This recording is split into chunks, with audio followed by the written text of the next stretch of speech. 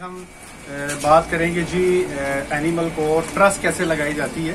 सबसे पहले तो ये मेरे हाथ में रोप है, ये कोई थर्टी फिट इसकी लंबाई है। और रस्सी आपने जो ट्रस आप लगाएँगे चिक्की लगाएँगे, उसके रस्सी की सिलेक्शन ऐसी होगी जो रस्सी जो है एनिमल को डैमेज ना करे। ये जैसे आप देख लें, ये उबने वाली चुभने वाली रस्सी ये नहीं है। सबसे पहले हम क्या करेंगे कि थर्टी फीट जो रस्सा है, मैं इसका सेंटर निकालूँगा। डॉक्टर साहब नहीं इसको दूसरी रस्सी को फेंक थैंक यू थैंक यू ये पकड़े। ये थर्टी फीट जो रोप है, सबसे पहले ये इसका सेंटर निकल आया। ये मेरे हाथ में इसका सेंटर अब डॉक्टर आप ऐसा मेरी हेल्प करेंगे इस सेंटर को ये हम यहाँ पे पिन ये इसकी ट्यूबर से पहले पे रखेंगे, इस जगह पे, ठीक है? डॉक्टर साहब एक एंड मुझे दे दें, एक एंड आप पकड़ लें। ठीक है इस एंड को कवर कर लें आपने इस रस्सी को हम अब टांगों के नीचे से गुजारेंगे। कब तक यहाँ से गुजारें। बिल्कुल टांग के नीचे। ठीक है? ठीक हो गया। ये जैसे कि आप देख लें, ये जो है डॉक्टर ऊपर से ऊपर से लगा इन बॉन्स के पास जो है, इस रस्सी को लगा के हमने इसको नीचे अडर के पास से गुजार दिया। डॉक्टर ये टेल पकड़ा। अब ये देखिएगा जरा, ये रस्सी के दोनों सिरे जो है, ये मेरे पास आ चुके हैं। अब मैं यहाँ पे एक नॉट दूँगा सिंपल नॉट जो है। जैसे आप देख चुके हैं सिंपल नॉट है। ठीक है? इस नॉट को आपने अमूमी तौर पे कोशिश की जाती है कि आर्डर के पास रख के लगाई जाती है। ठीक है जी? जितनी ये नॉट नीचे रखेंगे, उतनी ही जो इसकी चिक्की है, वो टाइट होगी। फिर एक नॉट ऐसे ही देंगे।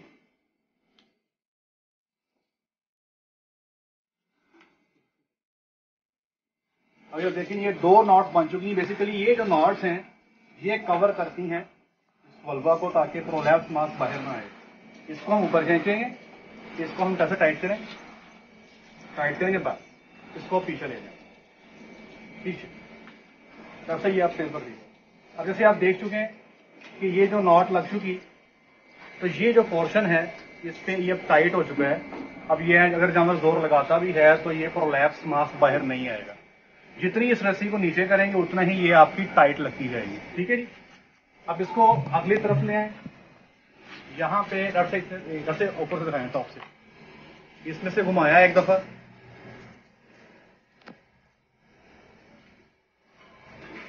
ये घूम चुकी। ठीक है जी? फिर इन दोनों रस्सियों को इकट्ठा करेंगे, डॉक्टर साहब। ये जैसे आप देख चुके ऊपर अगर आप टॉप से दिखा दें, इन दोनों रस्सियों को इकट्ठा करके मैं एक इकट्ठी नोट दूँगा। अगर आप देख सकते हो, ये इकट्ठी नोट लग गई। ठीक है, डॉक्टर साहब? फिर एक, दोनों रस्सियों को आगे से गर्दन के पास से घुमाएँगे। डॉक्टर ये देखिए। मुझे पकड़ा दें बोली ये आगे गर्दन के पास से ये से घुमा के हम वापस ले आए। ठीक है?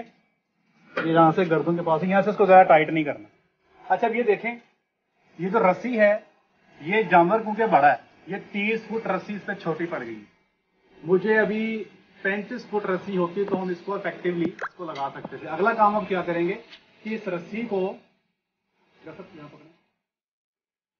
इस रस्सी को यहाँ बीच में से गुजार के, इस जगह में से गुजार के, इस जगह पे आप इसको टाई कर देंगे। आप भी इस रस्सी को यहाँ से गुजारेंगे और यहाँ पे टाई कर देंगे। तो इस तरह से ये जो आपकी है चिक्की मुकम्मल हो जानवर क्योंकि बड़ा है तो 30 फीट की रस्सी से ये इसकी चिक्की मुकम्मल नहीं हुई। ये छोटा जानवर जो है, उसके लिए 30 फीट जो है, अमूमी तौर पर ठीक होती है। तो इस जानवर के लिए तकरीबन 35 फुट के करीब जो है, वो रस्सी होनी चाहिए। तो इसको वक्ती तौर पर हम यहाँ पे इस जगह पे बाँध देंगे।